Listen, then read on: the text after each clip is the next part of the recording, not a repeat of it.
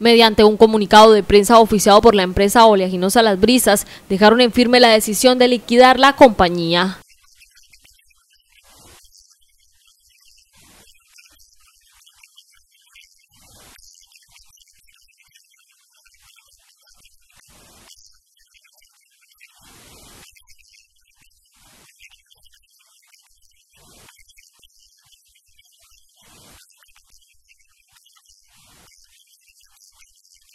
Factores de tipo económico como consecuencia de la pudrición de cogollo los habrían llevado a tomar tal determinación.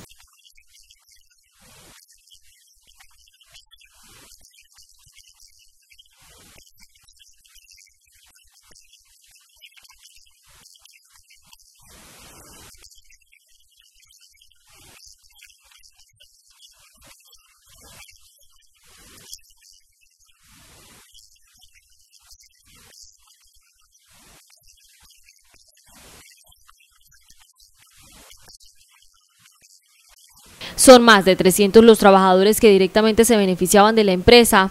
En asamblea permanente definen si se van a las vías de hecho, pues consideran injusta la decisión.